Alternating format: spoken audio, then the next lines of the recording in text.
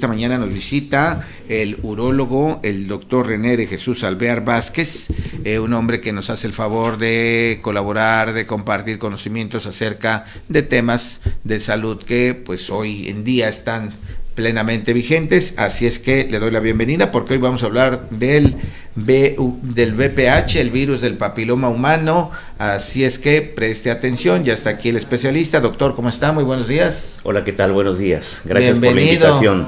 Claro que sí, bienvenido nuevamente, un tema pues que es muy común, ¿no? El virus del papiloma humano, cuéntenos primero cómo se define y después cómo nos afecta a todas las personas. Bueno, realmente la situación de la enfermedad, que es el virus papiloma humano, ¿sí? que antes se pensaba que solamente era en mujeres, pues hemos descubierto desde hace muchos años que los hombres somos participativos en la enfermedad.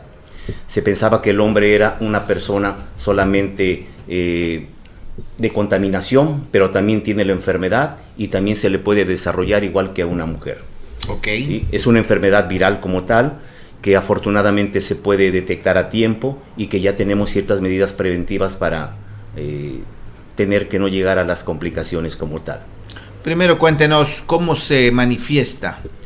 Bueno, el virus papiloma humano como tal puede tener inclusive no una manifestación, sino se puede diagnosticar por medio de estudios primeramente. Oh. Para empezar podemos decir que tenemos más de 200 tipos o subtipos de virus papiloma humano de los cuales cuatro son principalmente los más agresivos y que nos pueden llevar a, inclusive hasta el cáncer. El virus 6, el 11, el 16 y el 18. ¿sí? Esta enfermedad viral que se adquiere principalmente por actividad sexual, ¿sí? cuando la mujer o el hombre empieza con su actividad sexual, hasta en el 95% se puede adquirir a ese nivel. Pero hay otras maneras de contaminación que se pueden dar, que pueden ser inclusive ¿sí? por que la lesión toque una de las partes de un baño público, si principalmente el hombre, y otra persona ahí tenga contacto y se puede contagiar. ¿sí? Son las principales causas de contaminación como tal. ¿Y qué órganos ataca, doctor?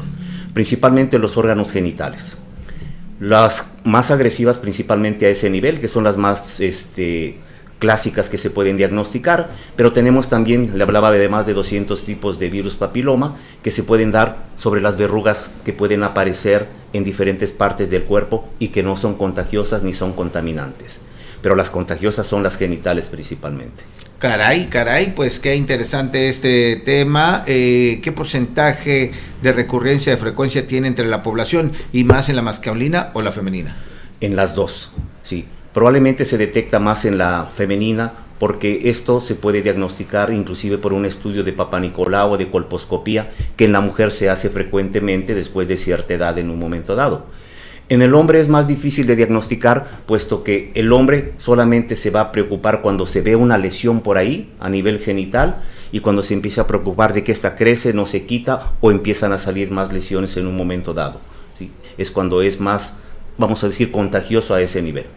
¿Qué hay que hacer, doctor? Primero, eh, pues para atender cuando ya está. Y segundo, ¿cómo prevenir? Bueno, aquí principalmente lo que tenemos que hacer nosotros los hombres es vigilancia, si es que sabemos que tenemos ya actividad sexual, inclusive desde gente joven, porque esta enfermedad se da desde gente muy joven, adolescentes inclusive, hasta gente mucho mayor. ¿sí? Y esta enfermedad es progresiva y nos puede llevar principalmente hasta tumores. En la mujer, ¿sí? El virus 16 y sobre todo el 18 son los virus que más nos pueden llevar a enfermedad, independientemente de las lesiones que son las verrugas a ese nivel, genitales, ¿sí? es el principal causa de cáncer cervicouterino en la mujer. Caray, preocupante. ¿Qué estamos viendo en pantalla, doctor? Ahí estamos viendo una lesión, sí, verrucosa, sí, es una lesión por virus papiloma humano sobre un tejido, en este caso la piel. No sabemos exactamente el, lugar, pero ese es el tipo de lesiones o uno de los tipos de lesiones, puesto que hay varios. De acuerdo al lugar donde se encuentre, que puede ser en, en la mujer en la vulva, lo puede ser en el cuello del útero, en los labios mayores o menores en el hombre puede aparecer en lo que es el glande, en lo que es el prepucio, inclusive en la parte suprapúbica, en el escroto y hasta en el ano. ¿Se, conoce por su coloración o cómo saben que es producto del virus del papiloma? Bueno, eh, los que tenemos conocimiento en ese sentido, con verlo ya lo, ya lo diagnosticamos como tal, pero hay ciertos estudios que se pueden hacer específicamente. Hay un estudio, le comentaba en la mujer, se llama colposcopía y lo hace cualquier estudio de citología o patología, y en el hombre se llama androscopía. ¿sí? La androscopía la ah, solicitamos cuando vemos que un paciente principalmente puede tener el diagnóstico, inclusive sin lesión se puede hacer un diagnóstico. ¿Sí? Hay lesiones como las que hacíamos cuando el COVID de PCR, que se toman muestras, se hacen cultivos y ahí nos puede aparecer si es positivo, si es negativo y si es positivo inclusive a qué tipo de virus tiene actividad. Correcto, vamos a ver otras imágenes. Esto también, esto es totalmente diferente al anterior. ¿También se considera virus del papiloma? Así es. Este tipo de lesión, por ejemplo, se ve que tiene más humedad. Este puede estar dentro de lo que es un tejido, dentro de la uretra, de lo que es el, el glande en este momento o inclusive en la vagina. Y se ve el tipo porque tiene más humedad principalmente. Cuando la lesión se ve más seca, más dura, ¿sí? está externamente en otra parte del cuerpo. Estas lesiones que estamos viendo entonces son en órganos genitales, ¿no son en otra parte del cuerpo? De este tipo no, este tipo son en genitales principalmente. Ah. Las que aparecen, por ejemplo, en el cuello, los famosos mezquinos que vemos y todas esas cosas, son también eh, lesiones de origen viral, pero no contagiosos.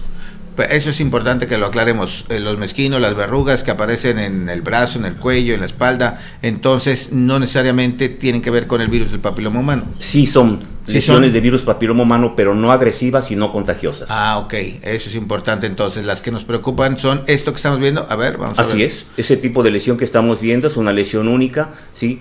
Que eh, definitivamente es virus papiloma humano, ¿sí? La podemos ver simplemente por la por la vista, pero si se quiere hacer un estudio más de especificidad, se tiene que hacer un estudio de cultivo, de un PCR, de una colposcopía o una androscopía. Qué interesante. Eh, muy bien, entonces las que nos deben ocupar y preocupar más son las que aparecen en los órganos genitales, ¿de acuerdo? Definitivo, en tanto hombre como en mujer, porque ah. son contagiosas totalmente. Ahora, eh, ya vimos, caray, pues ya dónde está la, eh, la, expresión, la manifestación de esta enfermedad. Ahora, ¿qué hacemos para prevenir, doctor?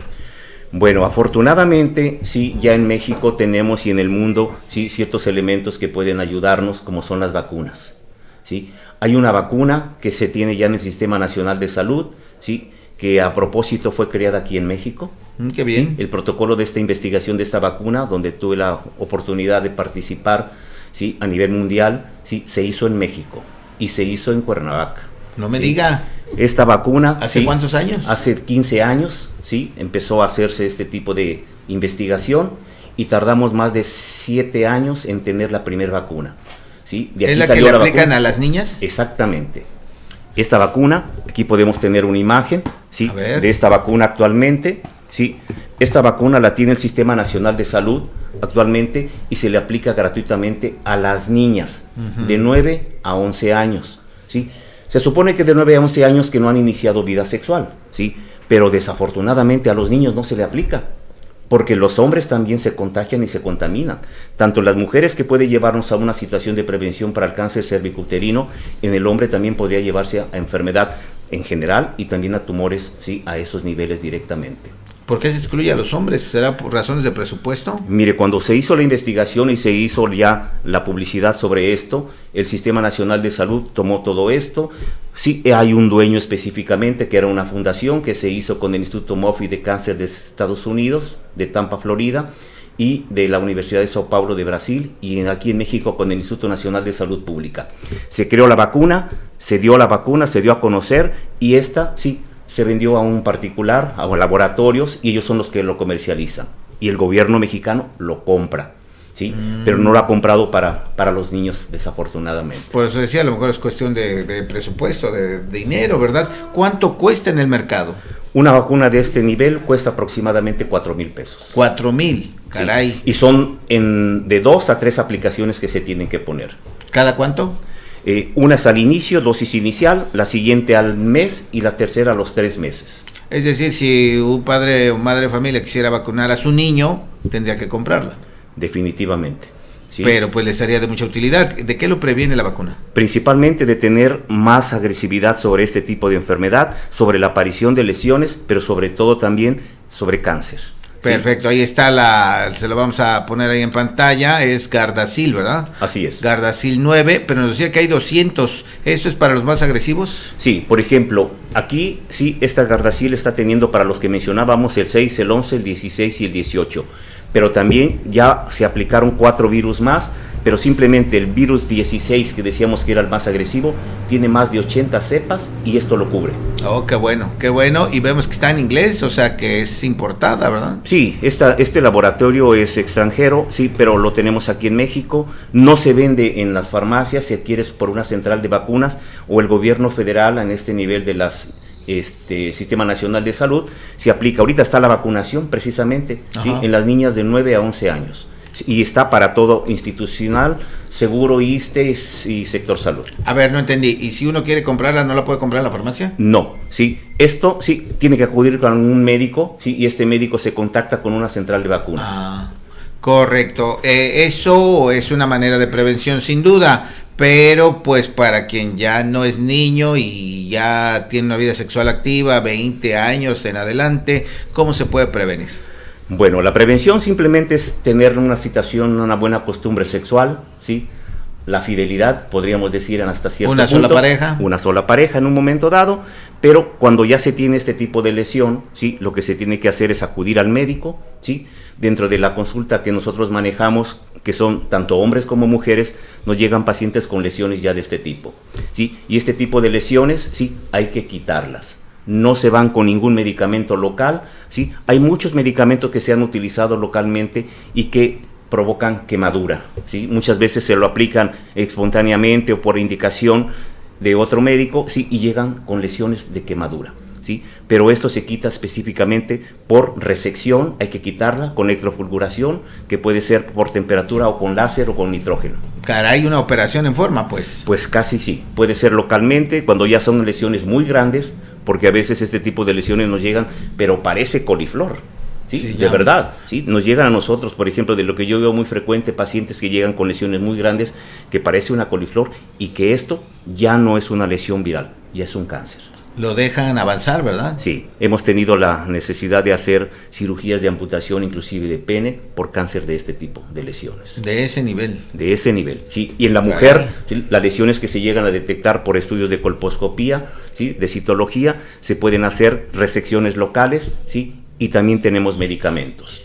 Hay medicamentos retrovirales, Recordemos que no hay ningún medicamento que mate virus, pero hay medicamentos que nos ayudan a atenuar la enfermedad y que esto no regrese tan fácilmente.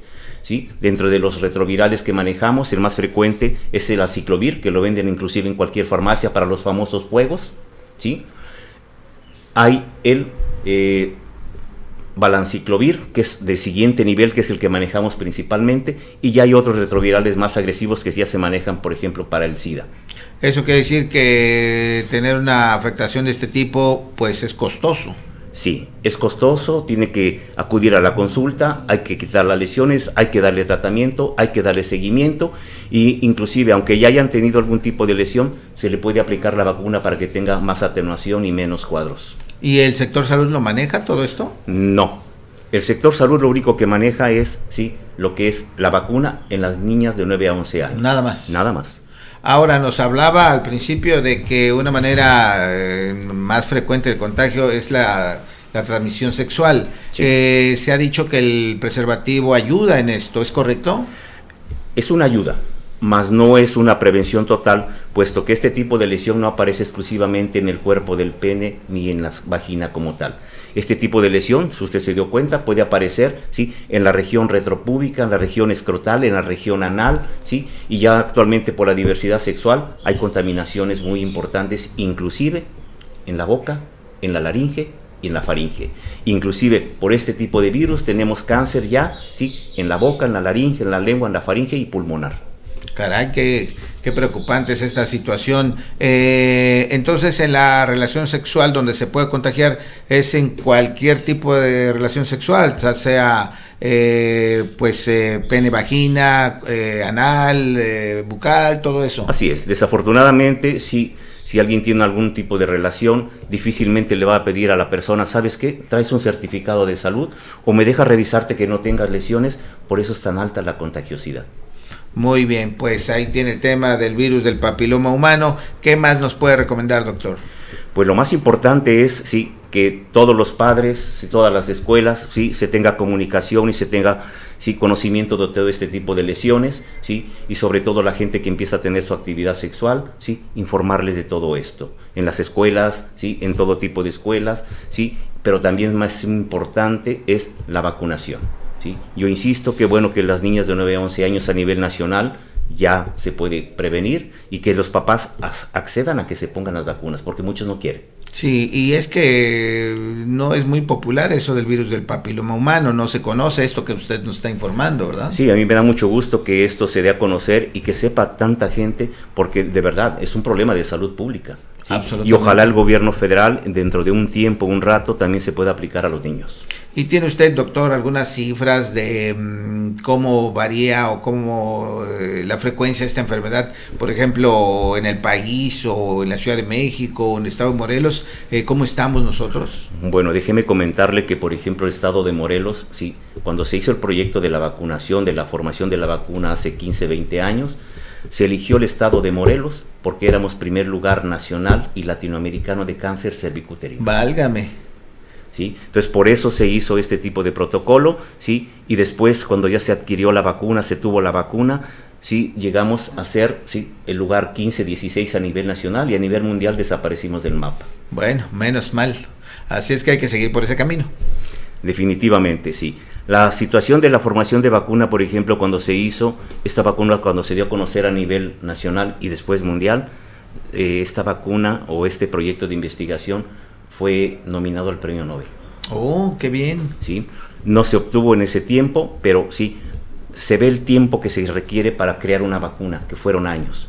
Y yo lo comparo, por ejemplo, cuando la vacuna del COVID, que teníamos vacunas de seis meses, que ya estaban listas. Así es. Y ahí nos damos cuenta ahora que las vacunas sí, ayudaron, pero no son tan buenas.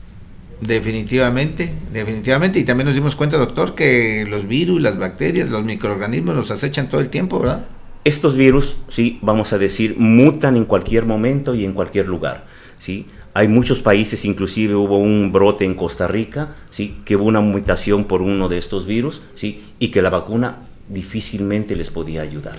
¿sí? Por eso es que esto está en continua investigación ¿sí? Y pues qué bueno que la tenemos con accesibilidad cara para la gente que no tiene los recursos y que tiene que acudir, pero para la gente del sector salud, sí, ahí está, sí, y ojalá se la puedan aplicar. Así es, es preventivo, así es que hay que aprovechar estas campañas de vacunación gratuita que se enfatiza por parte de la Secretaría de Salud, puede salvar a las niñas de un cáncer, ¿verdad? Sí, definitivamente, y al niño cuando tiene la oportunidad que se le ponga también lo puede salvar de un cáncer inclusive. Correcto, y ya por último doctor, coméntanos algo de qué piensa de quien dice, no, pues eso te pasó porque eh, es un castigo divino por andar eh, haciendo, siendo infiel o haciendo cosas indebidas. Pues lo que decíamos, sí, la fidelidad es lo mejor que podemos tener, sí, una sola pareja, como decía usted, porque y aunque sea algo que le ayude, un condón siempre le puede ayudar. Correcto, pues muchas gracias al doctor René de Jesús Alvear Vázquez por toda, él, es urólogo. Eh, doctor, eh, díganos dónde está su consultorio para que quien quiera saber más o recibir una atención directa, personal, profesional, pueda platicar con usted. Muchas gracias. En Cuernavaca estamos en la avenida Morelos Centro, ¿sí? número 202, ahí casi con la esquina de Morro. ¿sí? Ahí tenemos ya muchos años y aquí en Jojutla, aquí a tres cuadras, ¿sí? sobre esta misma avenida, Vicente Guerrero 206. ¿Qué día se atiende aquí? Lunes, miércoles y viernes. ¿Algún teléfono para citas? 734 34 289 17. Perfecto, pues ya le va a atender, le va a orientar sobre este y muchos temas que tienen que ver con su especialidad. Gracias, doctor. Gracias a ustedes. Sí, que tenga un excelente día. Muy amable.